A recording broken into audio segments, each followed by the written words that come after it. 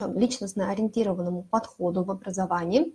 И попросила бы сейчас в чате написать, и все ли в порядке со связью, слышно ли меня, видно ли меня, может быть, есть какие-то помехи. В общем, отписаться о технической части нашего сегодняшнего мероприятия, но я надеюсь, что все должно быть в порядке.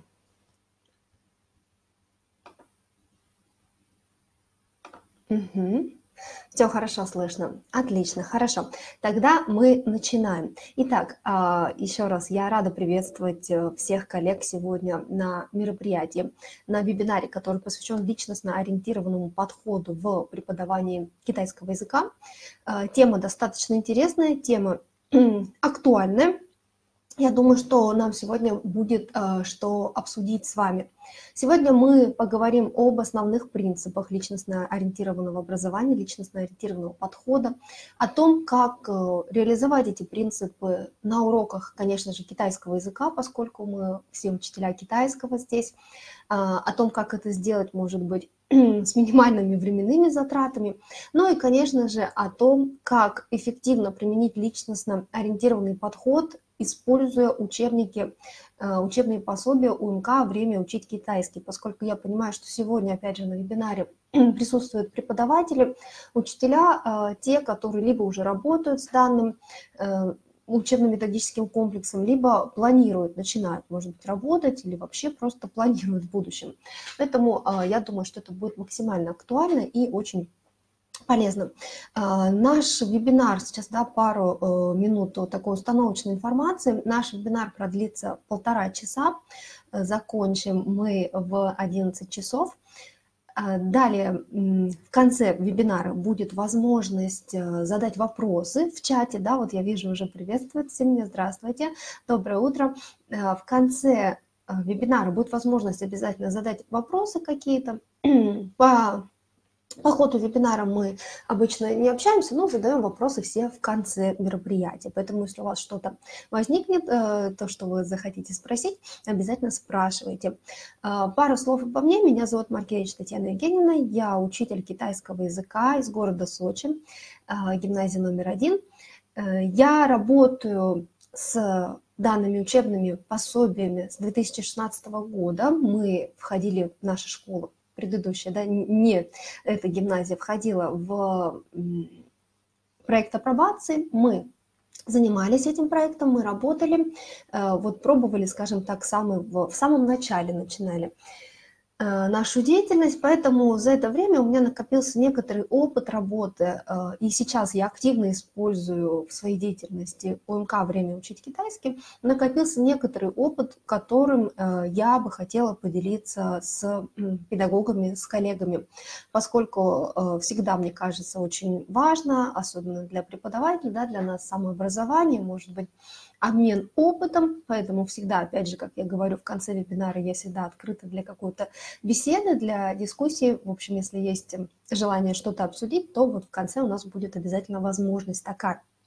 Итак, сегодня мы говорим о личностно ориентированном подходе на урок китайского языка с использованием УМК «Время учить китайский».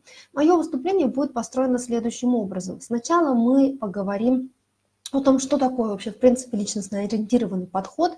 Я думаю, что, конечно же, э, вы все уже знаете и как-то частично касались этого, да, и, я думаю, применяете этот подход на своих занятиях. Сегодня мы поговорим о каких-то, может быть, нюансах данного подхода, разберем э, принципы работы, э, использования этого подхода именно на уроках китайского языка, что мы можем сделать с вами для того, чтобы наша деятельность, наша образовательная деятельность была более эффективна. Далее небольшой материал я расскажу о непосредственно уже об учебно-методическом комплексе, о его составляющих, о том, что появилось нового. Поэтому, если вы уже слушали да, информацию, может быть, на каком-то вебинаре, то мы сегодня вам еще будет э, дополнительно такой, как бы, э, какая-то новая информация, потому что произошли некоторые изменения, появились некоторые новые элементы в УМК. Вот этим всем э, тоже поделюсь с вами. И в конце уже разберем по аспектно, посмотрим внутренность учебных пособий, скажем так, э, и то, каким образом мы можем использовать содержание учебного пособия для реализации именно и современных требований к уроку китайского, китайского языка, и э, для реализации, собственно, личностно ориентированного подхода. Итак, мы начинаем. Э, первый, да, у нас слайд. Поговорим о личностно ориентированном подходе. Это, я думаю, как уже понятно, это современный подход, в основе которого лежит улучшение результатов обучения посредством индивидуального подхода к учащимся. Личностно ориентированный. У нас ориентация на личность, когда мы говорим о том, что самым важным элементом в образовательном процессе является сам ученик и его личностные особенности учет его личных личностных особенностей, развитие его не только интеллектуальное, но и креативное, творческое. Как мне кажется, вообще в целом, если мы смотрим э, стандарты проведения уроков современные, э, если мы смотрим ФГОС, очень большой упор делается именно на творческое развитие личности. Мне кажется, это очень, э, очень правильно, это то, о чем периодически, возможно, учителя забывают на своих уроках. Я как сама, как учитель-практик, понимаю, что э, всегда, может быть, э, особенно учителя, которые да, преподают в школах, мы говорим сейчас о нас, э, может быть, в состоянии нехватки временного ресурса, вот эта возможность творческого какого-то развития, креативного для учеников, она снижается, но мы сегодня поговорим о том, как возможно вот это поддерживать, да, как мы можем все-таки применять эти применять эти, скажем так, реализовывать эти требования, как мы все-таки можем творчески развивать наших учеников. Личностно ориентированный подход, а, подход, который ставит э, в центре, скажем так, основным, самым главным элементом ученика и его личность, его особенности, когда мы находим личный да, подход к каждому из наших учеников. Основные цели, а, что в итоге, а, к чему стремится личностно ориентированный подход, что мы должны получить по итогу нашего обучения. Во-первых, это, конечно же, свобод, а, способность сделать выбор. Да, посмотрите, у меня здесь написано 5 пунктов, и эти 5 пунктов не включают какие-то предметные результаты, поскольку личностно ориентированный подход, да, он Конечно же, мы говорим и об изучении китайского языка, э, потому что ни в коем случае не должна вот какая-то часть превалировать на другой, что мы, допустим, развиваем ученика только творчески, а забываем о каких-то предметных моментах о предметной наполняемости.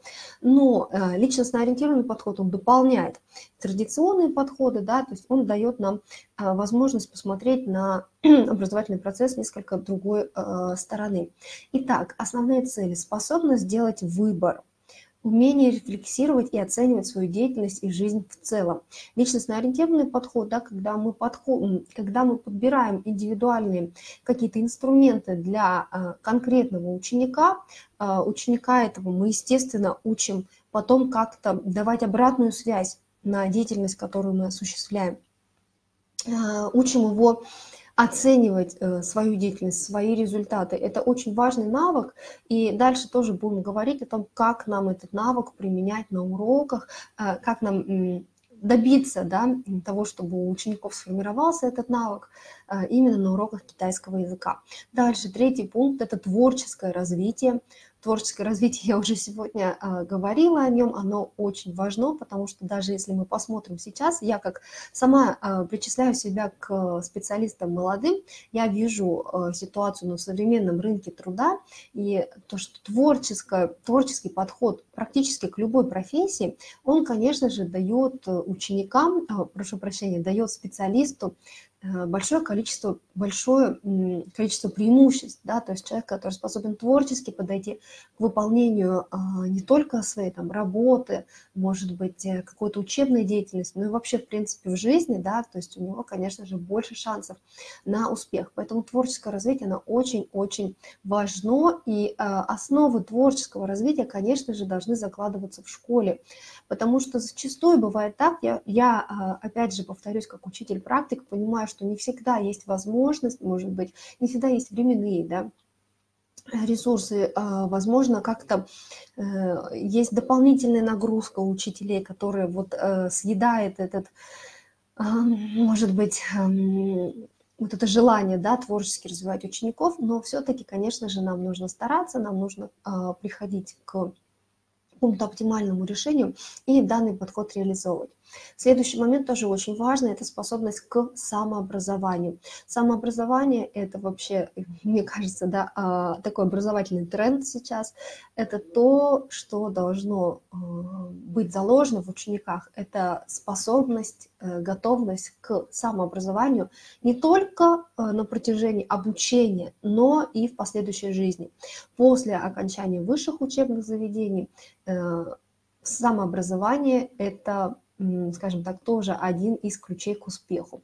И последний момент – это развитие ответственности. Личностно ориентированный подход, конечно же, развивает ответственность посредством чего? Когда мы даем ученикам какой-то выбор, когда ученик сам совершает выбор, он, конечно же, должен нести ответственность э, за этот выбор, за результаты своего выбора. Э, это, это и нужно нам достигать на своих уроках. Это те цели, которые преследует, скажем так, личностно ориентированный подход. А, здесь хотела бы пару слов еще сказать. Поскольку а, личностно ориентированный подход, как я уже сказала, это современный подход, это современный а, скажем так, такой э, элемент образовательный. Конечно же, здесь мы не можем обойтись без упоминания федеральных государственных образовательных стандартов. Кратко постараюсь немножко рассказать о том, э, какие элементы, какие требования именно ФГОС у нас перекликаются с личностно-ориентированным подходом. Вообще личностно-ориентированный подход – это часть эм, скажем так, ФГОС, часть э, вот этих образовательных стандартов. Поэтому очень многое будет у нас перекликаться, и я э, по какой причине сюда внесла вот этот пункт, потому что, возможно, через понимание, дополнительно, да, еще разбор вот этих образовательных стандартов, э, придет лучшее понимание личностно ориентированного подхода, что же все-таки нужно, что же требуется от педагога, от учителя. Так, ВГОС – это совокупность требований, обязательных при реализации основного, основных образовательных программ начального общего, основного общего, среднего общего, начального профессионального, среднего профессионального и высшего профессионального образования образовательными учреждениями, которые имеют государственную аккредитацию. То есть мы, как учителя, а, работающие в школах, гимназиях, конечно же, являемся вот такой целевой аудиторией, собственно говоря, да, федеральных государственных образовательных стандартах. Это то, э, каким образом, в соответствии с чем нам необходимо выстраивать свою деятельность, э, как нам нужно планировать урок, да, то есть какие-то методы уже окажутся неэффективными в соответствии с современными требованиями к уроку. И, конечно же, это то, что каждому преподавателю нам необходимо это всегда держать в голове, а, этому следовать. И вот эти результаты, о которых мы сейчас тоже чуть позже говорим, результаты этой деятельности, всегда держать где-то у себя в голове для, для того, чтобы мы понимали, к чему мы должны прийти в итоге. А, итак, а, важным аспектом, а, как мне кажется, федеральных государственных образовательных стандартов ФГОС, это является разделение требований к результатам образования. Как мы говорили в личностно-ориентированном подходе, да, то есть результат – это формирование ответственности, творческое развитие учеников. То же самое происходит, естественно, и при реализации ФГОС. Посмотрите, на слайде у меня указаны три основные скажем так, области да, разделены на три направления вот эти результаты. Первый – это предметные. Предметные результаты – это освоение специфических для данной предметной области умений. Ну, то есть для нас, э, в нашем случае, да, это изучение там, грамматики китайского языка, да, возможность, может быть, э, скажем так, вести коммуникацию на китайском языке. Ну, это, собственно говоря, э, получение вот этих знаний конкретно по предмету. Но помимо предметных результатов, необходимо еще в своей деятельности нам показать и метапредметные результаты, и личностные. Вот здесь э, иногда может возникать такое непонимание, поэтому э, сейчас тоже дополнительно еще хотела бы на этом моменте остановиться. Метапредметные результаты – это освоение умений, применимых как в рамках образовательного процесса, так и в других жизненных ситуациях. То есть вообще, в принципе, образование на данный момент необходимо э, выстраивать именно вот в этой парадигме э, дальнейшего существования, дальнейшей деятельности отдельного индивида. То есть когда мы можем э, дать ученику те навыки, умения, которые он может применить не только в школе, но и в своей жизни в последующем, да, выходя а, за пределы школы, поступая в высшее учебное заведение, возможно, да, продолжая свое образование и вообще далее работая а, осуществляя свою а, какую-то профессиональную деятельность. Итак, к метапредметным результатам мы относим и умение планировать, да, очень важное, очень ценное вот это умение. Умение соотносить свои, скажем так, планы с результатами, да, умение прогнозировать умение делать выводы, а, умение систематизировать и анализировать информацию. Это то, что обязательно должно присутствовать а, на каждом, то есть на каждом уроке мы каким-то образом должны вот работать для, над этой задачей должны э, работать над тем, чтобы в итоге наши ученики показали вот эти метапредметные результаты. Конечно же, каким образом а, осуществляется вот это а, этот подход, каким образом мы можем достигнуть этой цели. Э, выбирая правильные, эффективные инструменты работы, да, выстраивая э, содержание, ход урока, не пропуская важные элементы, которые, может быть, нам кажутся не совсем всегда да, необходимыми, или, может быть, которые занимают очень, как нам кажется, много времени. И, естественно, а, если сегодня мы говорим об учебно-методических э, комплексах, конкретно об УМК «Время учить китайский», это выбор правильного пособия, которое э, отражает уже, содержит в себе вот эти своим э, содержанием ведет к приобретению данных результатов. То есть у учителя, конечно же, снижается нагрузка. И последнее, категория требований – это личностные требования. Личностные, да, которые… А, так, прошу прощения, у меня тут что-то… Угу. Получение а, системы ценностных отношений учащихся к себе, другим участникам образовательного процесса, к самому образовательному процессу и объектам познания.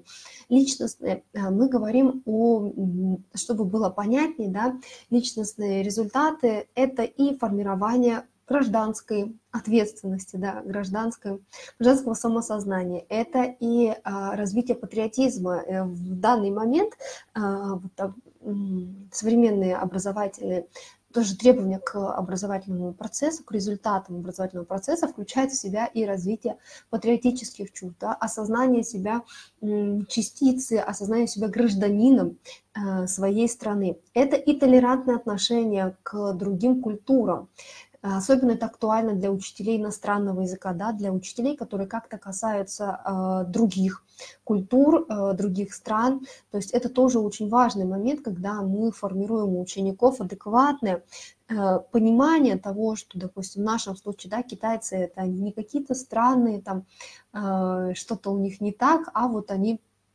просто э, другая нация, просто другая культура, к которой тоже нужно относиться уважительно, относиться толерантно.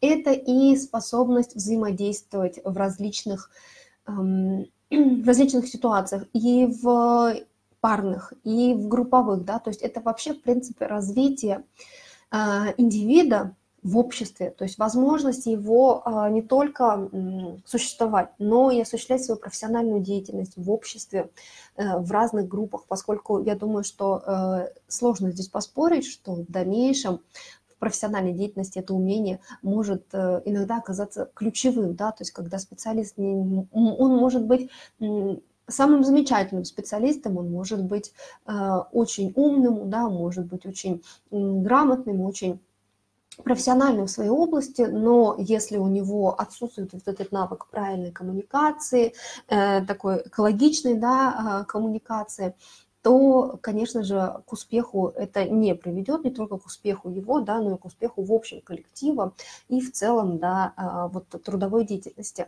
Поэтому этот момент тоже нужно учитывать и нужно всегда понимать, что на своих уроках мы должны учеников привести вот к трем вот этим важным результатам, да, к трем группам. Первый – это предметные результаты, да, сам китайский язык в нашем случае. Дальше – метапредметные и личностные результаты. А, далее, более а, еще подробно а, поговорим о требованиях к современному уроку, что же нужно нам применять и в рамках э, образовательных стандартов и в рамках личностно-ориентированного подхода. Во-первых, это, конечно же, смещение фокуса с учителя на учащихся. Да? То есть здесь а, мы говорим и про личностно-ориентированный подход, когда ученик становится основной, э, главной фигурой деятельности образовательной, когда мы учитываем его особенности, мы смещаем фокус с себя с преподавателя на ученика. Учитель выступает в роли наставника, а, в роли человека, который дает а, вот этот а, импульс к развитию, да, ну, естественно, это передает знания, но все-таки основной фигурой центральной у нас является, конечно же, ученик. Дальше, упор на исследовательскую, проектную, творческую деятельность. Здесь также мы сегодня тоже поговорим про проектную деятельность, про творческую деятельность. А, здесь также очень, вот в реализации вот этого требования очень важен личностно ориентированный подход, поскольку любое исследование, оно предполагает в первую очередь, да, это самостоятельный выбор, а, возможно, ну, с помощью учителя темы, да, это то, что интересно конкретно а, данному ученику. Это то, каким образом он проведет это исследование. То есть исследовательская деятельность, она в принципе включает в себя эм, очень большой скажем так, э, процент самостоятельности учащегося, он как э, индивид, как вот э, конкретный, скажем так, да, учащийся, он не в группе, хотя, опять же, проекты могут быть и групповые, он самостоятельно проводит это исследование, опираясь на себя, опираясь на свои интересы, опираясь на свои знания, на свои умения. То, как он проведет это исследование, э, полностью отражает, скажем так, его э, состояние, его э, образовательную ситуацию на данный момент. Следующий важный подход, важный принцип, прошу прощения, это увеличение доли самостоятельной, самостоятельной работы учеников на уроке. А, когда далее мы посмотрим и по содержанию ОМК, э, когда мы выбираем те упражнения, те задания, которые дают возможность ученикам самостоятельно их выполнять без помощи учителя, да, то есть это не просто задание там пишем, читаем, да, переводим и так далее, а, это задания, которые заставляют учеников подумать, проанализировать и сделать это самостоятельно, возможно, там с поиском дополнительной информации где-то, а, тоже будем это с вами смотреть.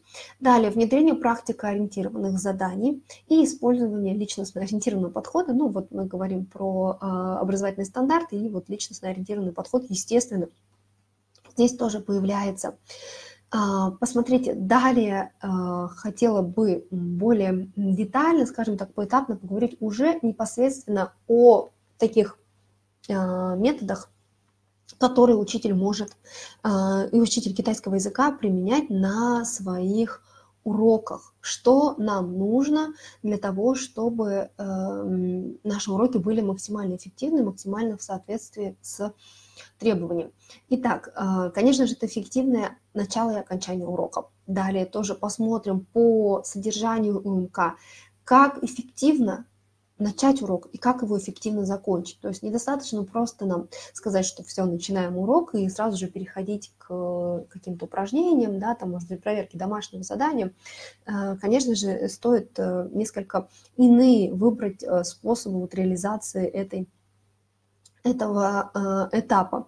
Далее, совместно с учениками формулировка темы, цели и задач урока.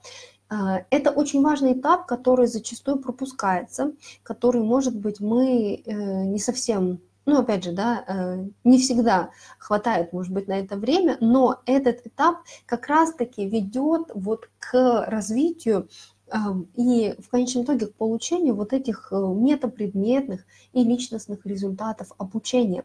Когда мы вместе с учениками э, обсуждаем тему урока, далее тоже будем смотреть, как это сделать более эффективно, более интересно, э, цели и задачи урока. Здесь у каждого ученика есть возможность реализовать себя. Это один из таких очень, наверное, простых этапов урока урока. Но опять же, они создают, э, этот э, этап создает ситуацию успеха.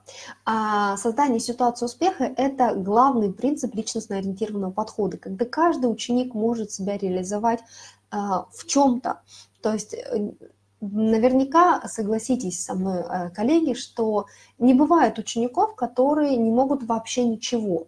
Они не могут э, вообще ничего, может быть, в рамках каких-то требований, да, очень жестких. Но если мы посмотрим, то бывает так, что ученик, который абсолютно не может писать иероглифы, замечательно, может быть, учит там стихи на китайском или замечательно читает вслух.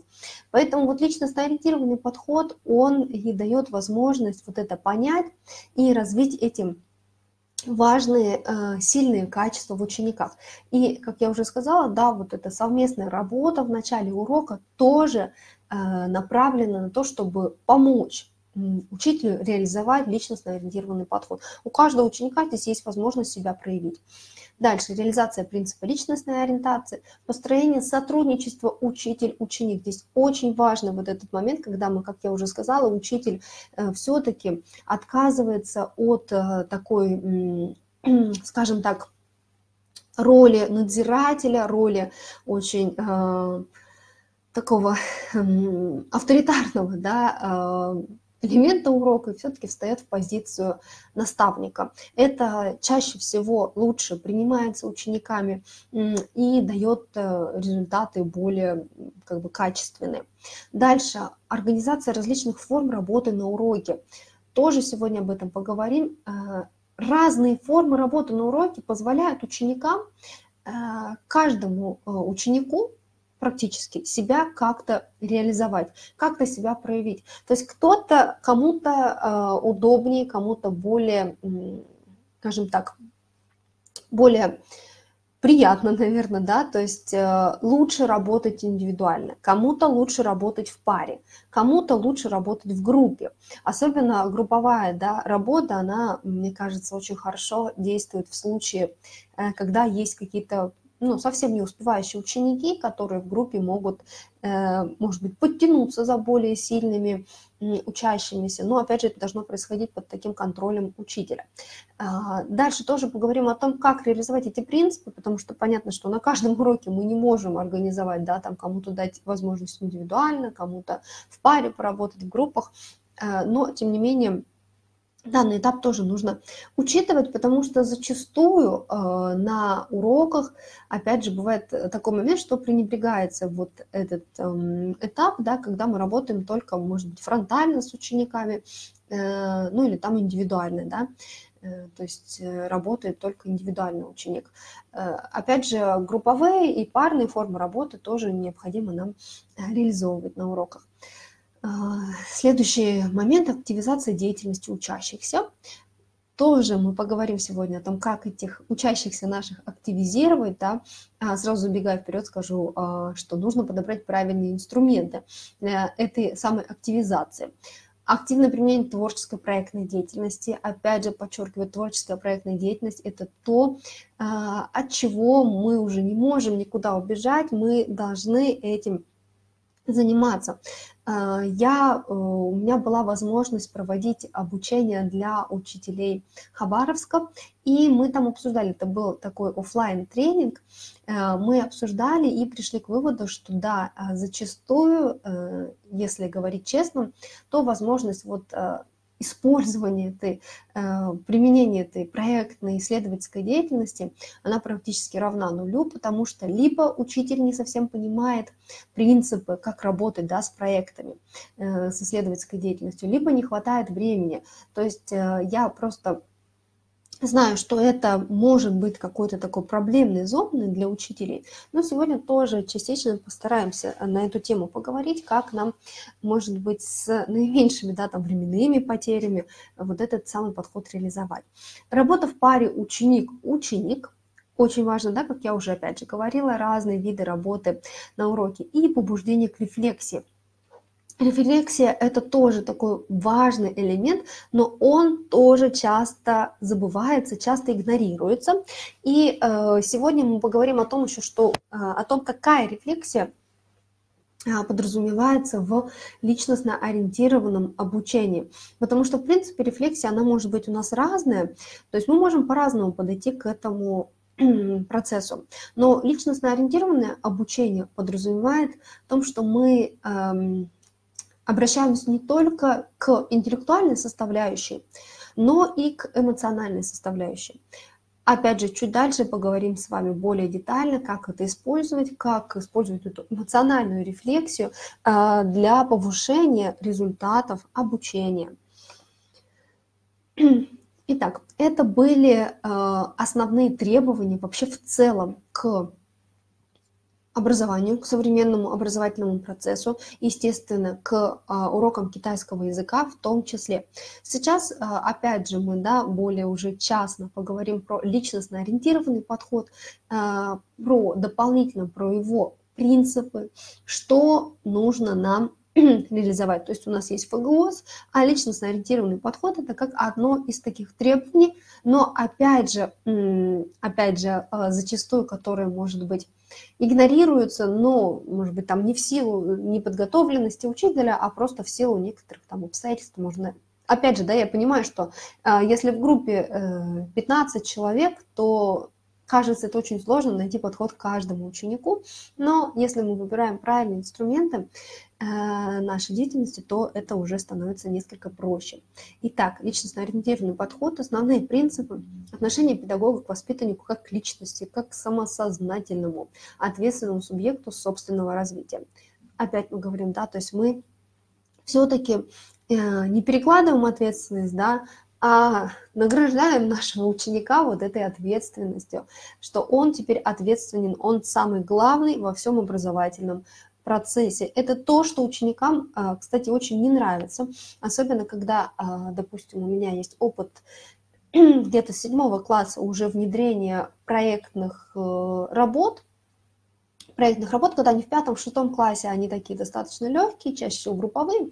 Вот когда с седьмого класса уже э, начинаем вводить проектные работы, и они подразумевают под собой большую долю ответственности, да, когда ученик должен сам найти информацию, сам сделать выводы, общаться с учителем в форме консультации, вот тогда возникает большое количество таких вопросов и недопониманий, потому что все-таки ученики еще в, э, ну, по крайней мере, да, я думаю, что ситуация может несколько разниться в регионах, допустим, да, и в столичных образовательных учреждениях, но тем не менее, все-таки ученики склонны к тому, чтобы эту ответственность перекладывать на учителя, на преподавателя. Так вот, нам это делать нельзя, нам не нужно позволять ученикам это делать, нам нужно, наоборот, эту ответственность э, пере, передавать нашим учащимся. А, обучение должно обеспечивать развитие и саморазвитие личности ученика, исходя из его индивидуальных способностей, особенностей. А, опять же, как я уже говорила, важный очень пункт, то есть мы учителю необходимо подмечать а, те моменты, которые ученик показывает во время своей деятельности. То есть вы, работая с группой, всегда видите, что э, какому-то ученику проще, может быть, проще делать какие-то письменные задания, кому-то проще делать устные, кто-то лучше работает в группе, кто-то лучше работает индивидуально. То есть используя вот это, подмечая эти моменты, и учителю необходимо все-таки давать возможность ученикам, э, дать возможность свободы и дать возможность им вот себя реализовать в этих для них э, более подходящих, более уместных аспектах. Э, ученик, опираясь на свои способности, склонности, интересы, получает возможность реализовывать себя в учебной деятельности поведения. Да? То есть, э, когда мы не ограничиваем учеников, а даем им, наоборот, возможность вот этого развития, конечно же, у них а, появляется возможность самореализации. Это всегда любому ученику приятно, да? любому человеку, в принципе, приятно. То есть у него сразу же а, возрастает э, возможность эм, попадание вот в эту ситуацию успеха, и здесь да, нужно отметить, возрастает э, мотивация к обучению, возрастает желание что-то делать. Поэтому здесь выигрываем э, мы все. И ученик, поскольку у него происходит, происходит его развитие более гармонично, и э, мы учителя, поскольку у него все-таки повышается мотивация к обучению. А, дальше, содержание образования, его средства и методы подбираются и организуются так, чтобы ученик мог проявить изобретательность к предметному материалу, его виду и форме. Это как раз напрямую, а, этот пункт касается нашего сегодняшнего а, вебинара, когда мы будем говорить уже о работе с УМК, э, забегая вперед, скажу о том, что содержание УМК «Времень учить китайский» как раз-таки заключает э, в себе вот эти методы и средства, которые дают возможность э, ученику развиваться, развиваться гармонично. И организация работы с УМК, она построена таким образом, чтобы у учителя была возможность, как я уже говорила, менее не искать, да, какие-то, может быть, дополнительные материалы, привлекать какие-то дополнительные источники, а работая с одним э, пособием, э, вот этот самый принцип личностно-ориентированного обучения реализовывать.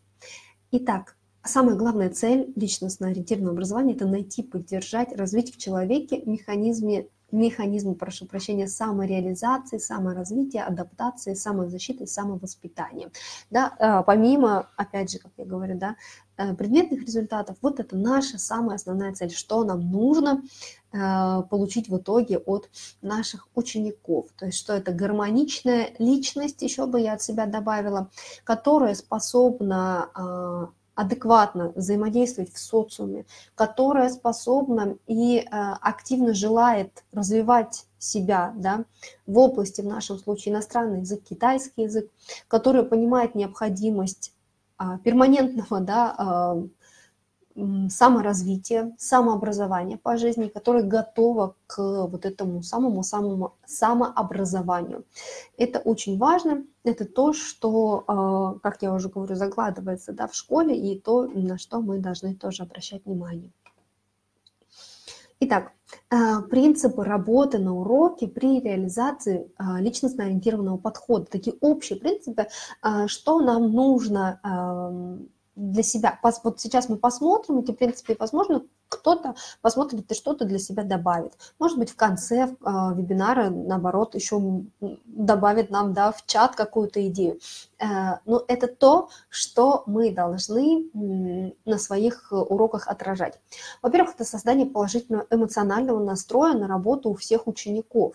Э, положительный настрой, да, он... Э, заключается в чем? В, как уже ранее было сказано, эффективном начале, в эффективном э, введении в занятия. Да? То есть э, урок можно начать э, совершенно по-разному, и, может быть, уже с самых первых минут либо, наоборот, вдохновить учеников на дальнейшую деятельность да, в течение 40-45 минут, либо же, наоборот, убить вот эту самую мотивацию, убить желание.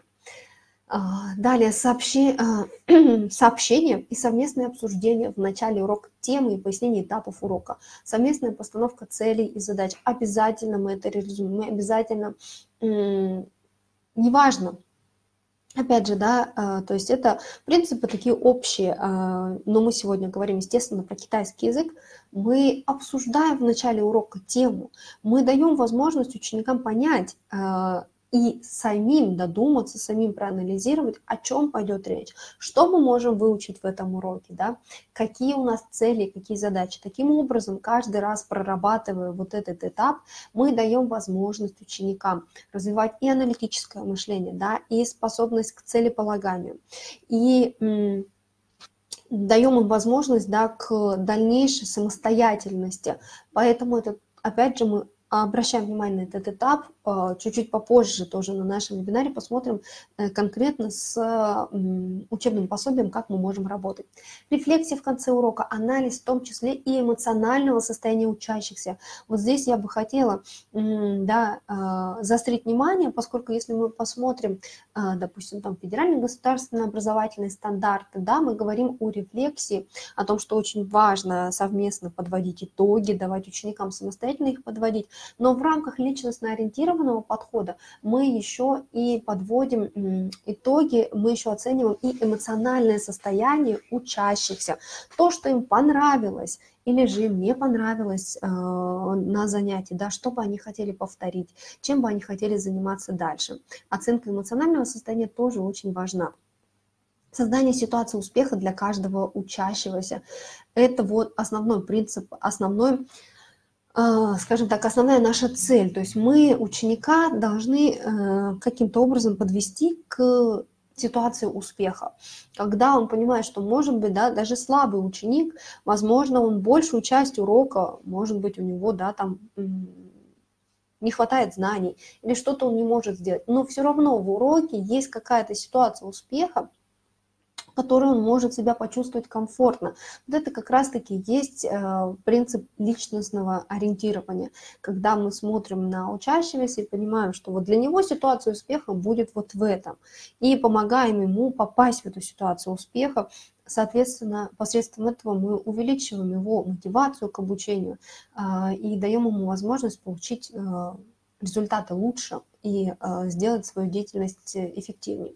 Организация различных видов работы на уроке, индивидуальная, парная, групповая, обеспечение условий для взаимодействия учащихся обязательно, да, конечно, если мы говорим, допустим, про группы а, пятого класса, да, а, поскольку все-таки мы сейчас говорим а, о китайском языке как о втором иностранном языке, да, который начинаем изучать с пятого класса, э, конечно же, иногда это сопровождается с некоторыми э, трудностями с дисциплиной, да, но опять же, да, под четким контролем и руководством учителя, все-таки это э, можно реализовать. Эм, да, вижу чат, прошу прощения, периодически отвлекаюсь. Да, добрый день, э, кто к нам только присоединился, мы говорим про личностно ориентированный подход. А, итак, э, взаимодействие учащихся, неважно какого это возраста учащихся, конечно же, от э, там, 5 к 11 классу это будет разного типа взаимодействия, но тем не менее его нужно будет организовать. И использование заданий открытого типа. Итак, мы поговорили о основных принципах личностно ориентированного подхода. О том, я думаю, что я дала вам возможность, может быть, еще раз дополнительно да, проработать эту информацию, для себя понять э, э, принципы, которые необходимо реализовывать на уроках. Может быть, большинство из них вы уже э, применяете, но лишний раз мы с вами это проговорили. А сейчас мы, как я уже говорила ранее, мы немножко разберем состав УМК, о том, что включается в УМК вообще, э, УМК, время учить китайский, как с ним работать, и далее уже э, непосредственно поговорим про личностно-ориентированный подход в УМК. Итак, УМК «Время учить китайский». Автор э, линии УМК – это Сизова Александра Александровна, это российский автор, руководитель авторского коллектива УМК. Кандидат исторических наук, учитель высшей категории, доцент школы востоковедения, факультета мировой экономики и мировой политики, а, высшей школы экономики и учитель китайского языка и страноведения Китая, школа номер 548 Царицына, руководитель направления китайский язык. Ассоциации учителей иностранных языков города Москвы. А, здесь очень важный момент, эм, который я бы хотела подчеркнуть о том, это то, что Александра Александровна, конечно же, э, доброе утро, Латифа, здравствуйте, э, конечно же, является сама э, учителем-практиком. Соответственно, автор пособия понимает современные проблемы в образовательном процессе и в преподавании китайского языка и мне кажется, это вот э, является очень таким ценным моментом. Ну и, конечно же, коллектив э, авторов с китайской стороны. С вашего позволения я не буду их э, всех представлять, но, опять же, мы далее сейчас с вами посмотрим, так как присутствуют авторы с китайской стороны, о чем это говорит? О том, что УМК, угу, УМК все-таки это совместный проект издательства просвещения и китайского издательства э, People's Education Press. Э, это совместный проект. Э, всегда любой материал, как мне кажется, по иностранному языку, он, конечно же, должен включать в себя Э, авторов, э, авторов э, из страны изучаемого языка. Ну вот, собственно говоря, МК «Время учить китайский» является таким проектом. Сейчас хотела бы обратить ваше внимание на всю линейку учебников, которая уже завершена. Линейка от 5 до 11 класса. Здесь мы говорим о преемственности, о том, что э, все-таки выбираем это очень важный, опять же, момент, поскольку в моем случае, когда я начинала свою преподавательскую деятельность, у нас не было такой возможности, у нас была сложность с э, учебными пособиями именно для школ, потому что они в какой-то момент обрывались, вот эти линейки, э, но сейчас вот есть завершенные линейка, которая включает в себя и учебники для 10-11 классов. Это очень, как мне кажется, очень важно, очень такой позитивный момент для нашего современного образования, да, и в том числе для, естественно, в частности, для преподавания китайского языка. И можете посмотреть вообще на учебники, они красочные, яркие, такие современные, ученикам чаще всего, э, ученикам нравится их вид и нравится с ними работать. Особенности УМК. Что же делает УМК таким особенным? Почему мы говорим о том, что они, а, УМК, вот этот комплекс учебно-методический, он сейчас является очень эффективным инструментом для преподавания, для использования его в своей а, практике. Во-первых, это аутентичность языковых материалов. Наличие сюжетной канвы в подаче учебных материалов. Да, ученикам очень интересно наблюдать о том, как развиваются э, события, как э, герои в учебниках общаются, э, да, как у них происходит коммуникация.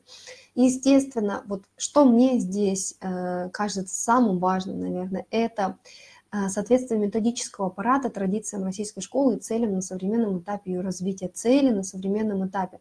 То есть содержание УМК полностью отражает вот эти наши цели, то, о чем мы говорили, все вот эти требования, которые нам необходимо реализовать, используя МК, вы можете э, работать эффективно.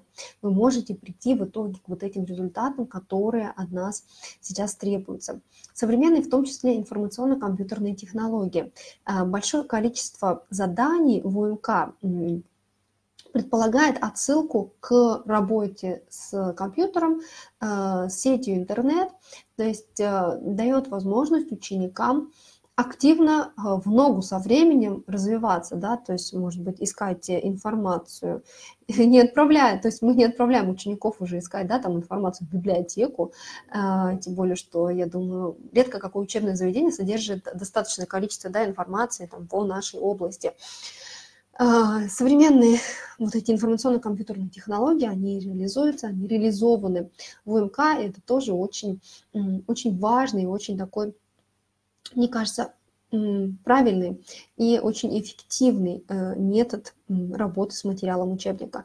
Практикоориентированный характер, а, когда, далее мы тоже посмотрим на задание, когда учеников дает, у них есть возможность применить свои знания на практике. И э, я бы хотела тоже вот своим опытом э, поделиться, поскольку у меня был опыт, скажем так, перехода с одного учебно-методического комплекса на другой, вот э, на УМК «Время учить китайский», и вообще в целом учеников вот эти практикоориентированные задания, особенно если они к ним не привыкли, они всегда являются такой проблемной зоной. То есть ученикам всегда тяжело а, применить китайский именно на практике, да, то есть его используя, это мой опыт, да, мой опыт как учителя, используя китайский язык, что-то сделать, какое-то, может быть, исследование, что-то посмотреть в интернете, да, что-то изучить. Проще всегда выполнять просто там какие-то задания на перевод, это более привычно. Поэтому, и мне, как всегда кажется, да, проблемная зона, да, вот это, она всегда ведет нас к росту. Поэтому практика ориентированный характер, это опять же, это современные требования к урокам а, любого а, предмета, да, ну и китайского языка а, в частности. Поэтому тоже мы вот это не игнорируем и э, применяем эти э, задания. Личностная ориентация, адресное содержание учебных материалов. Наличие социокультурных материалов о России. Вот здесь тоже хотелось бы э, дополнительно подчеркнуть, потому что, э, как уже э, ранее я говорила, что Александра Александровна Сизова, автор учебно-методического комплекса, она большой упор в своих, вот в этом данном комплексе делает именно на лингвостроноведческий подход – на изучение китайского языка через призму а, культуры, культуры Китая. А, мне тоже этот подход очень импонирует, поскольку он дает возможность да, ученикам э, понять более комплексно китайский язык, да, то есть, я думаю, никто не сможет поспорить с тем, что изучение китайского языка все-таки должно происходить вот через призму изучения культуры Китая, потому что не поняв культуру Китая, э, намного тяжелее изучать китайский язык. Но э, здесь мы говорим о России, да, казалось бы, как она здесь, каким образом она здесь э, будет уместна. Э, последний пункт, да, реализация обучения на основе диалога культур России и Китая. В УМК есть очень хороший э, раздел очень хороший раздел, который рассказывает какие-то факты э, о культуре Китая, но не просто рассказывает нам о Китае, а делает это через призму, через сравнение России и Китая. То есть мы не только изучаем, ученики не только изучают э, какие-то культурные особенности Китая, но и культурные особенности своей страны. Это очень важно, поскольку, э, как мне кажется, тоже да, очень значим вот этот момент, когда мы не позволяем ученикам переходить, да, э, скажем так, вот этот перекос, когда их начинает интересовать только иностранная культура, но и плюс мы должны на своих уроках все-таки э, развивать патриотизм э, наших учащихся. Вот как раз эти материалы социокультурные, они направлены на это. учеников всегда, всегда, если вы работали ну, если вы приступаете к э, работе, то я вот э, вам скажу, поделюсь своим опытом, всегда вызывает большой интерес вот этот раздел. И всегда интересно не просто узнать что-то про китайцев, а сравнить их с нами. Я думаю, в принципе, если вам ученики задавали какие-то вопросы по Китаю, они всегда делали это вот в этой э, сравнительной, да, манере. То есть, а вот у нас так, а у китайцев так. Вот сейчас э, у учеников есть возможность э, реализовать этот подход, э, сравнить две культуры и сравнить, скажем так, придя к какому-то общему диалогу. Возможность дифференцированного подхода к организации образовательного процесса, прошу прощения, в том числе с учетом индивидуального стиля учебной деятельности школьников. Вот этот дифференцированный подход и есть э, основной элемент, да, основной вот этот, э, правильно говорю, да, элемент э, личностно-ориентированного подхода, дифференцированный, когда мы даем возможность ученикам в зависимости от их способностей, от их уровня подготовки выбирать задания, выбирать э, средства, способы их реализации. Дальше тоже вот мы посмотрим по аспектно, когда поговорим, как это можно реализовать. Воспитательная и развивающая ценность материалов, широкие возможности для социализации учащихся, э, учебные пособия, они э, во-первых, да, когда мы говорим про социализацию, во-первых, это выбор, конечно же, тем в учебном пособии, потому что темы, они актуальны, они современные для учеников. И темы э, изменяются с увеличением с повышением уровня, да, то есть э, от пятого класса к одиннадцатому, естественно, темы будут разные. Темы, допустим, э, вот девятый класс или восьмой класс, могу немножко э, где-то э, спутать, может быть, Э, допустим, темы, которые вызывают к эмоциональному какому-то самоопределению. Темы, допустим, есть, да, я э, раздражен или я расстроен, когда уже к восьмому-девятому классу учащиеся осознают себя лучше уже, да, то есть они себя более оценивают как такую инди, ин, как индивидов, да, им уже интересны не какие-то общие э, знания, не какие-то даже, может быть, культурные аспекты, а им интересно уже познать себя, понять себя. И как раз вот в этом моменте э, к этому возрасту появляются очень актуальные для учеников темы темы текстов, темы диалогов, которые дают им возможность да, вот, проработать их с собой, лучше понять себя, лучше развить себя. И э, самый важный здесь аспект – это, конечно же, то, что линия учебников э, «Время учить китайский» вошла в федеральный перечень учебников Министерства просвещения. То есть э, вы можете абсолютно спокойно использовать учебники, да, если учителя, я думаю, что большинство учителей сталкиваются с таким вопросом, как там закупка учебников, то есть все это сейчас э, возможно делать абсолютно скажем так, спокойно, да, и абсолютно в соответствии с, со всеми требованиями требования. Это, как мне кажется, лишнее, да, снимает такой груз ответственности с учителя.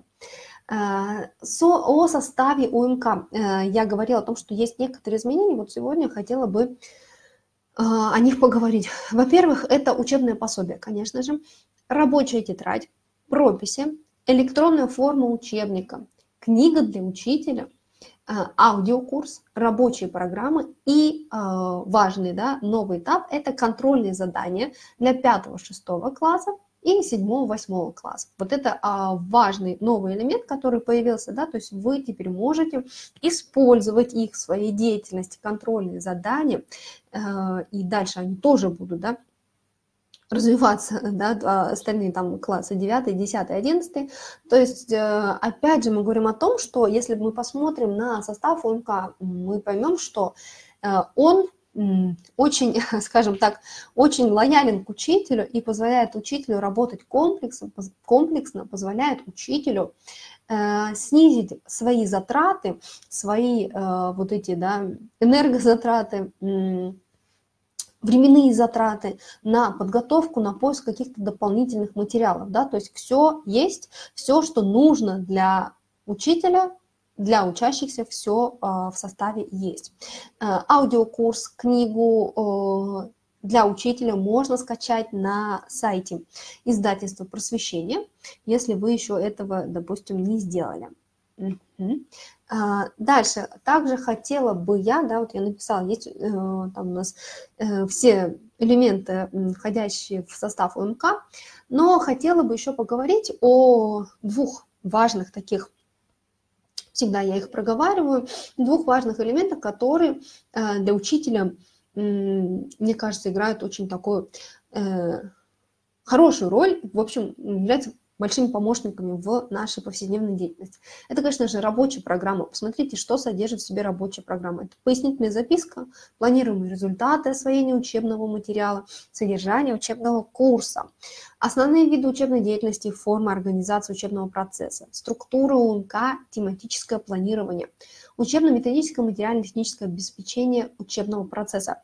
А, что здесь я бы хотела дополнительно подчеркнуть, потому что сама как э, Учитель практик сталкивалась с этой проблемой, когда необходимо написать рабочую программу, и написать ее обычно, ну, в каких-то учебных заведениях это делают методисты, э, где-то все-таки у учителей нет такой возможности привлекать эту помощь, и вот учителя вынуждены самостоятельно этим вопросом этим заниматься. Поэтому вот рабочие программы, они есть, и ими нужно пользоваться.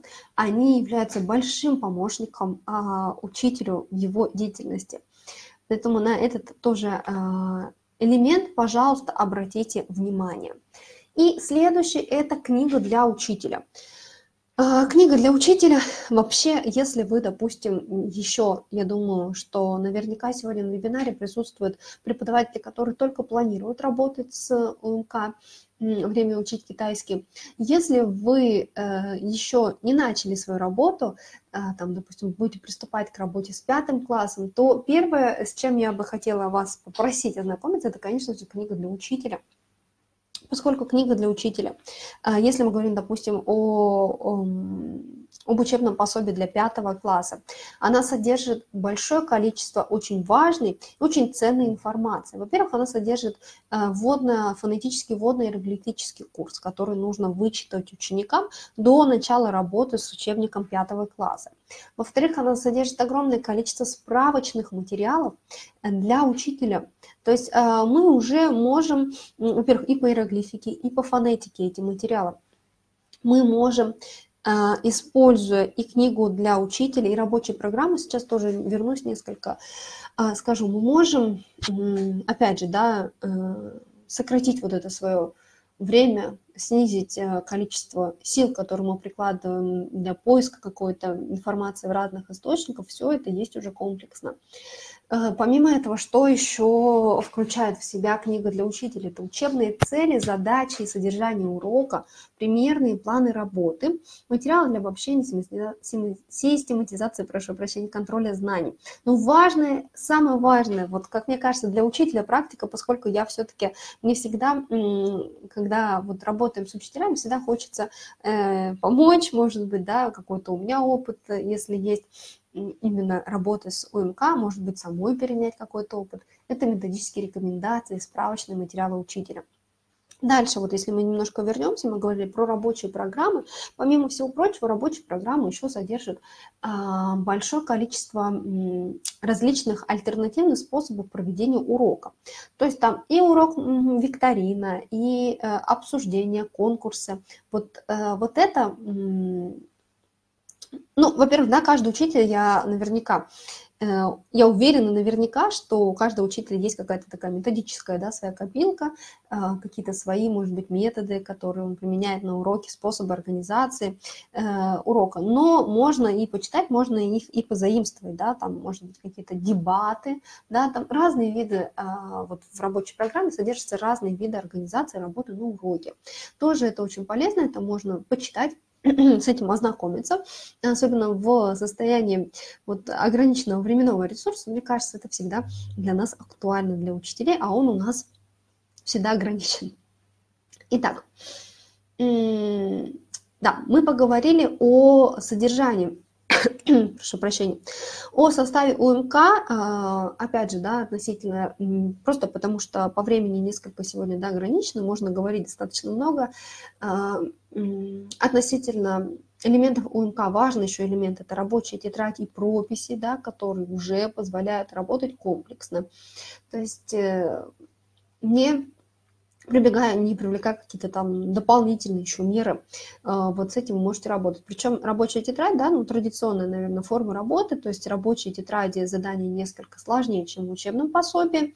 А, их э, чаще всего мы даем, да, там, в качестве домашнего задания, но они вот, э, опять же, они, естественно, э, продолжают основную там тематику учебного пособия, но задания несколько усложнены.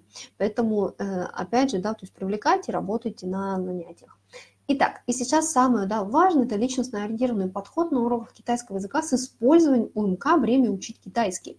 Э, то есть мы поговорили о том, вообще, в принципе, что такое да, а, личностно ориентированный подход, э, какие его основные принципы – Поговорили о том, что из себя представляет э, УМК «Время учить китайский». Поговорили о том, насколько эффективно мы можем, да, то есть насколько эффективны мы видим методы, да, и средства, и вообще способ организации вот этих материалов в УМК. Сегодня, а, сейчас поговорим, как нам использовать УМК для того, чтобы реализовать личностно ориентированный вот этот подход.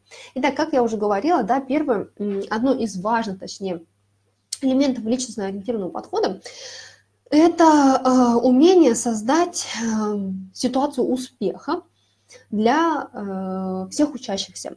Э, мне кажется, самым таким элементарным способом создания этой ситуации успеха является выполнение заданий на введению темы урока, то есть на задание на эффективное начало урока. Посмотрите, здесь на слайде представлены учебники, представлены учебные пособия и вот как раз вот эти разделы. Да, э, перед уроком нам дают возможность э, с учениками поговорить о чем-то. В первом случае, да, там посмотри на картинку, скажем, мы говорим о семье, и потом мы говорим о... Ну, в втором случае тоже, да, о семье, но тут больше уже про наш дом мы говорим. А, посмотрите, да, вторая картинка. Нарисуй свой дом или квартиру. Э, представь рисунок в классе и опиши его по-китайски.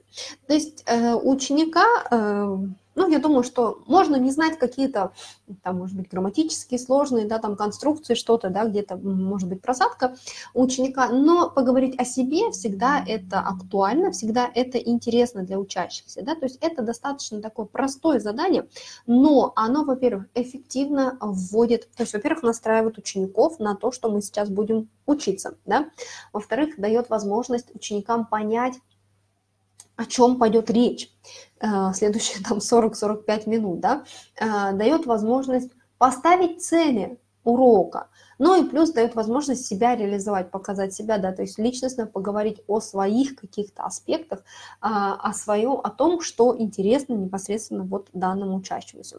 Каким образом мы э, выполняем задание на введение темы урока? Перед началом урока ученикам задаются заранее заготовленные вопросы по теме, да, то есть, ну, обычно э, эти, подготовка этих вопросов не отнимает огромное количество времени, вы можете, да, их заранее подготовить, да, но обычно, я думаю, что работая скажем так, э, работая длительно с любым учебным пособием, вы уже как бы понимаете, о чем можно поговорить с учащимися. Да? Мы э, вводим в тему урока Каким образом мы реализуем это? Ранее изученный материал мы сочетаем с новым материалом, который будет появляться в этом уроке. Во-первых, мы активизируем, да, то есть мы повторяем то, что было изучено ранее, и плюс, опять же, как я уже сказала, вводим да, а, учеников в курс дела и даем возможность совместно определить цели и задачи урока. Когда мы ввели какую-то, может быть, новую лексику, новый какой-то материал, учеников, соответственно, появляется логичный, логичный очень вопрос, да, а что мы будем делать на уроке. И вот здесь как раз, да, вот мы будем изучать это, это и это. Э, это очень важный элемент, который э, ведет к развитию аналитического мышления. Соответственно, как я уже сказала, вот в данном разделе, раздел перед каждым уроком, да, то есть перед каждым перед каждой темой, ну, то есть там у нас есть урок 1, 2, 3, вот он появляется.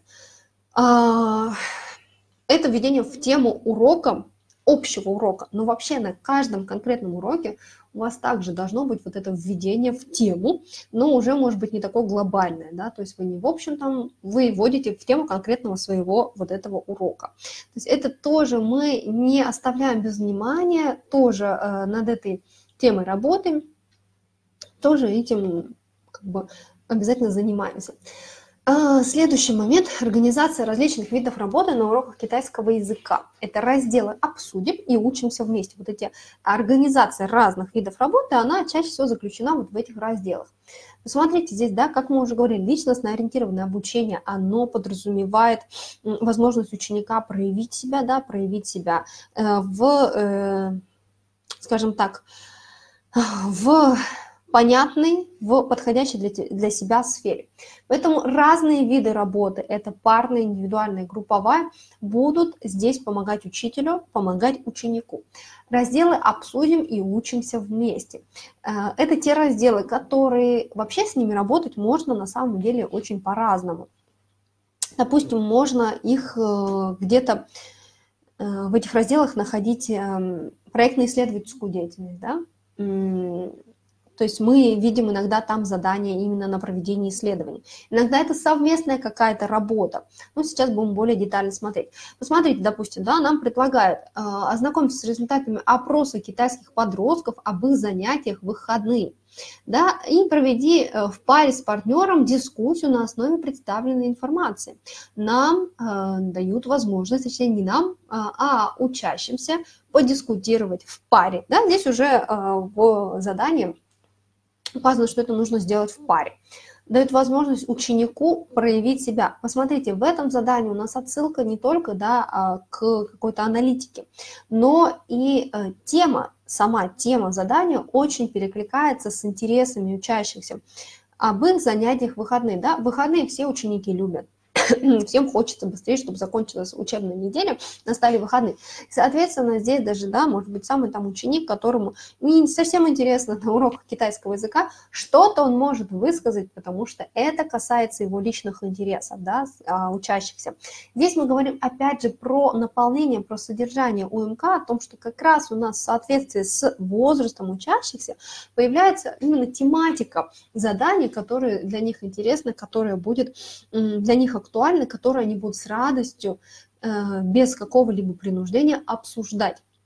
Тематика, конечно, очень сильно разнится там, от 5 к 11 классу, но это очень эффективно и это очень правильно, как мне кажется. Э, да?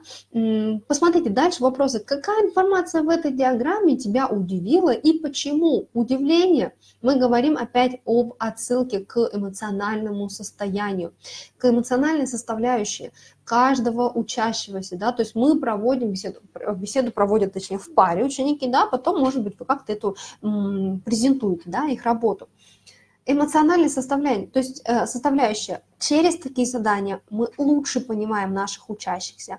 Мы понимаем, что вот этого ученика вот это интересует, другого интересует что-то другое. Задания, как вы видите, да, они уже включены в МК, и вы можете их активно использовать. Что ты думаешь о том, э, как подростки в Китае проводят выходные? Э, отличаются ли их выходные от наших? Что ты думаешь? Мы даем возможность ученикам высказать свое мнение и высказать его на китайском языке. То есть здесь не только личностно ориентированный подход, но и практика ориентированный. Мы не просто выполняем какие-то задания, не просто там переписываем что-то, переводим, а мы даем возможность поговорить на китайском языке, использовать его да, как средство общения.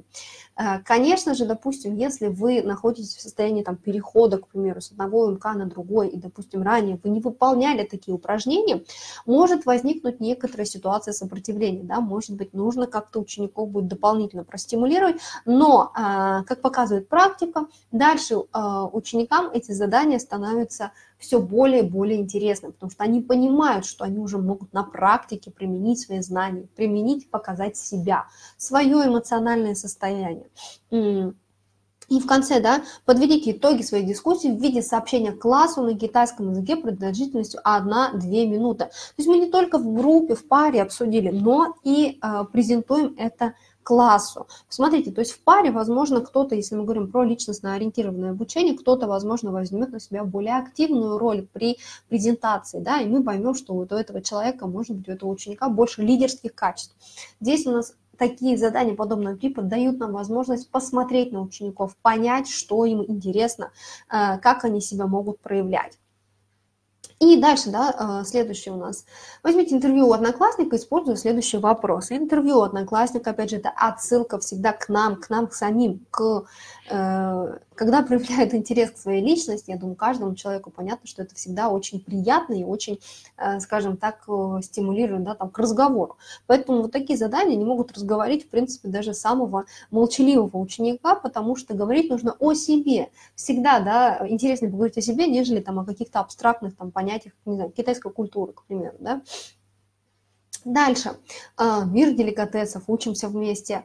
Нужно исследовать и узнать, что предпочитают кушать на завтрак, обед и ужин люди в определенных регионах и странах. Э, для сбора информации ребята спрашивают друг друга, а также могут консультироваться с учителем и использовать ресурсы сети интернет.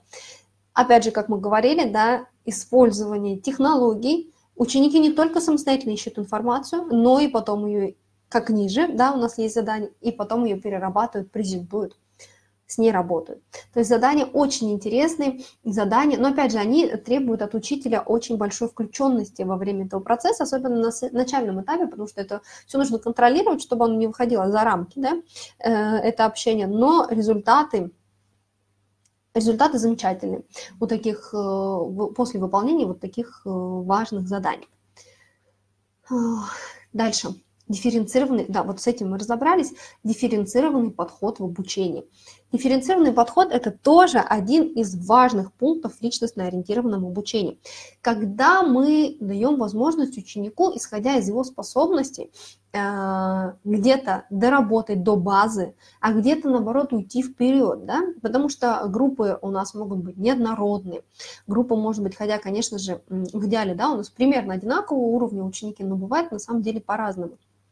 Поэтому а, вот это, посмотрите, дифференцированный подход, он дает возможность нам кого-то нагрузить дополнительно да, заданием, а кого-то, наоборот, э, дать ему, может быть, где-то послабление. Дополнительная лексика а, в каждом разделе есть вот этот блок дополнительной лексики, который учитель может использовать по своему усмотрению. То есть вообще изначально указано да, количество необходимых лексических единиц, которые должны усвоить учащиеся, и есть еще дополнительные лексические единицы. Так вот, если у вас есть кто-то в классе, кто э, более активен, кто, э, допустим, лучше да, занимается, кто идет вперед, дайте им возможность вот э, эту лексику, может быть, изучить. Дайте им какое-то задание с этой лексикой. То есть дополнительно э, это таким образом, таким заданием, да, вы как раз вот реализуете этот личностно ориентированный подход, когда вы увидите и предложите ребенку проработать а, в актуальной для него теме. Также дифференцированный подход у нас выражен не только в этих дополнительных материалах, да, лексических, но и э, далее с увеличением уровня, да, вот, допустим, по, попадаются такие, появляются, прошу прощения, такие задания, как, допустим, читаем дополнительно ниже, да, я думаю, вам, надеюсь, видно. Опять же, читаем дополнительно. Дополнительное задание – это то, что вы можете предложить или не предложить учащемуся. Э, если вы видите, что учащийся стремится, если вы видите его уровень, который выше там группы, да, или вы видите, что он действительно может, у него есть интерес, дайте ему возможность почитать этот текст. Вы можете пойти дальше, и как любой, да, учитель, который обладает своими какими-то уже, да, методами, методиками, можете еще какое-то дать ему задание по этому тексту, да, то есть не обязательно, мне всегда кажется, это замечательно, когда учитель отходит несколько даже и от учебника, да, от учебного пособия, и какие-то свои, да, правильные, проверенные методики используют, пойти дальше и дополнительно его э, простимулировать, дать ему вот эту возможность себя реализовать. Таким образом, вы, опять же, личностно ориентированный подход полностью реализуете. А, следующий момент – это проектно-исследовательская деятельность, как я уже сказала, на уроках китайского языка, поскольку мы говорим сегодня о китайском языке обязательный элемент современного урока китайского языка. Уже без проектно-исследовательской деятельности мы не можем э, работать, мы обязательно должны ее реализовывать. Посмотрите, проектно-исследовательская деятельность нацелена э, на что? Во-первых, это успешное творческое развитие личности. Поэтому, если мы говорим про стандарты работы на уроке, про личностно ориентированный подход, то, конечно же, проектно-исследовательская деятельность должна быть реализована на урок повышение уровня мотивации, потому что когда мы проводим исследования, мы несколько изменяем э, ход урока, мы несколько, э, ну то есть вообще проектная исследовательская деятельность, она отличается от того, что происходит, допустим, каждый день на занятии, да, и у учеников появляется дополнительная мотивация что-то делать, изучать, это всегда интересно, интересно немножко отойти от обыденного, соответственно, повышается эффективность и качество учебного процесса, проектно-исследовательская деятельность обучает мыслить самостоятельно, решать проблемы и применяя знания. То есть а, те знания, которые у них накапливаются, они могут их сразу же применить на практике. Это, опять же, дополнительный интерес. Э, это, опять же, вызывает повышение мотивации у учащихся. И Проектно-исследовательская деятельность тоже направлена на реализацию личностно ориентированного подхода, поскольку проект а, или исследование – это как раз-таки, особенно если это индивидуальный проект, это как раз-таки отражение а, личности учащегося, его способностей, его склонностей, его интересов. Поскольку, допустим, если мы говорим, да, ну, то есть вообще проектная исследовательская деятельность – это такой большой, достаточно объемная тема, но если мы говорим про любое исследование, это и выбор темы, поскольку тему мы выбираем, а, опираясь все-таки на интересы ученика. Да? Это и способы реализации проекта, это и способы проведения исследования. Это все а, отсылает нас к самому учащемуся. Поэтому проектная исследовательская деятельность обязательно должна реализовываться на уроках. Она и развивает критическое мышление, и развивает, естественно, предметные и метапредметные, и личностные навыки. Да, здесь почему-то я не указала. Личностные навыки, естественно, тоже она развивает. Давайте посмотрим, как проектно-исследовательская деятельность реализуется в УМК «Время учить китайский». Посмотрите, первое задание. Представь, что твой партнер школьник из Шанхая, который хочет посетить школу, в которой ты учишься. Расскажи ему, какие кружки и секции у тебя есть э, в твоей школе. Да? Сначала мы работаем с какой-то информацией, а потом ниже. Проведи свое исследование среди учащихся твоей школы э, с целью определить их активность в, э, в внеклассной деятельности. Проведи исследование, то есть учащемуся ему нужно пойти и э, провести исследования среди других учащихся. Да? Здесь вы можете, опять же, если мы говорим про личностное ориентирование, вы можете несколько, может быть, изменить э, задание, да, может быть, изменить подход. Возможно, если ученику совершенно некомфортно да, пойти там проводить исследования между школьников, возможно, вы предложите ему использовать э, сеть интернет такое тоже возможно. Здесь, опять же, проявить вот этот лично, личностно ориентированный подход, а, проявить вот этот интерес и, скажем так, озабоченность да, а, личностью ученика. Дальше, какие еще могут быть задания, а, которые направлены, где вы можете найти вот эту проектно-исследовательскую деятельность? Учимся вместе. Учимся вместе Опять же, раздел, да, который я уже до этого тоже называла. В группах по 3-4 человека подготовьте информативные, яркие презентации на китайском языке о традициях, современном значении известных праздников России и Китая. Опять же, да, это и групповая работа. Смотрите, если кому-то удобнее, можно сделать работу парную. Да? Кто-то наверняка скажет, что он хочет сделать а, работу индивидуально. Вот в случае личностно-ориентированного да, обучения, конечно же, учителю стоит проявить некоторую мягкость и дать возможность ученику выбрать самостоятельно. Вот здесь есть возможность выбора. То есть задание, оно направлено на активизацию каких-то навыков, да, там, на проработку, э, но вы можете также его а, дорабатывать, и, в принципе, оно как бы и оно подразумевает, вот эти задания, они подразумевают некоторую свободу в выборе э, у учителя. Следующий этап – рефлексия, совместное подведение итогов. В ОМК, также в конце каждого раздела есть такой раздел, да, подведем итоги. Э, здесь подводятся итоги мы говорим больше о том, что мы выучили, что мы успели разобрать э, в течение вот этого э, раздела, в течение вот этого урока. Грамматический аспект, во-первых, да, естественно, рефлексия. У учеников э, возрастает вообще способность планировать свою деятельность, да, кто-то посмотрит, скажет, да, я все это знаю, а кто-то посмотрит, скажет, что нет, я ничего не выучил из этого урока, да, и сам поймет, как бы, то есть лишний раз себя простимулирует, возможно, да, может быть, нет, конечно, но тем не менее, а, человек, э, ученик наш научится вот этому самоанализу.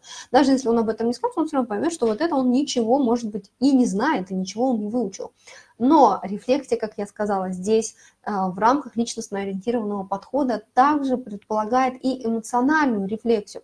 Рефлексия, когда мы отсылаемся, делаем отсылку к эмоциональному состоянию наших учащихся. Поэтому рефлексию, а, посмотрите, здесь она указана да, как э, подведение итогов в конце э, раздела, но рефлексию вообще-то желательно проводить на каждом уроке. Вы можете проводить ее как и аспектно, да, то есть говорить о каких-то навыках, о том вообще, что изучили в течение э, данного урока, и делать отсылку к эмоциональному состоянию. Что понравилось учащимся, что не понравилось, да, что было самое сложное, что было самое легкое – желательно, да, опять же, привлекать всегда к данной беседе сложных, может быть, каких-то учеников, которые тяжело идут, может быть, на контакт, да, которые в какой-то степени, вы видите, там, может быть, неуверенно себя чувствуют а, в неуверенно себя чувствуют, может быть, в классе, да, то есть дать возможность тоже им себя как-то проявить, потому что это ого, достаточно легко, но одновременно с этим и может быть проблемой для учащихся, но это важно, это вот этот а, контакт учитель-ученик, это очень важный элемент. То есть вы налаживаете контакт, вам потом проще будет, опять же, э, вот этот личностно ориентированный подход реализовывать, когда вы уже лучше понимаете своих учеников, их пристрастия, их интересы. То есть рефлексия не только та, которая э, у нас в конце идет каждого дела, но и на каждом уроке, и рефлексия еще и эмоциональная. Таким образом, а, мы уже движемся с вами к завершению. То есть мне сегодня удалось показать а, некоторые, да, вообще в целом, если мы смотрим на содержание УМК, то мы можем заметить, я думаю, вы сегодня заметили, что оно всецело направлено на реализацию основных принципов и реализацию всех требований современных э, стандартов образовательных. Что, каким образом еще а, учебное пособие помогает педагогу? Во-первых, конечно же, помогает достигать метапредметных результатов через формирование универсальных учебных действий и межпредметных понятий.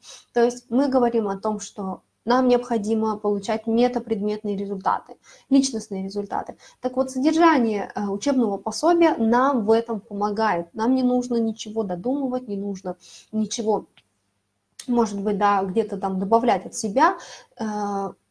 Просто работая с содержанием учебника, выбирая эффективные методы, применяя да, там, свои знания, применяя, может быть, свой творческий подход и такую осознанность, э, мы можем достичь всех необходимых для нас результатов. Э, далее, это, конечно же, развитие интеллектуальной и творческой деятельности. Как я уже сказала, творческая деятельность – очень важный аспект, очень важный момент – все содержание учебного, э, учебно-методического комплекса, как вы видели, оно как раз-таки настроено вот на развитие и творческой, и интеллектуальной деятельности одновременно – А, нам с нашей стороны важно этот момент не забывать и прорабатывать все, что есть все, что есть в содержании учебника, все вот эти методические э, аспекты, все подходы реализовывать. Повышение мотивации, конечно же, да, когда ученик видит интересные способы работы на уроке, когда он видит различные да, какие-то э, подходы, у него вырастает мотивация. Когда он видит, что э, на уроке есть э, постоянное обращение к его личным особенностям к нему как к личности, конечно же, это не может не повышать мотивацию учи- учащихся. Развитие чувства патриотизма, как мы уже видели да, с вами, это возможность изучить а, не только страну изучаемого языка, но и приобрести какие-то знания о своем государстве, а, о России. И, естественно, повышается, всегда в этом случае повышается уровень патриотизма, уровень интереса к своей культуре.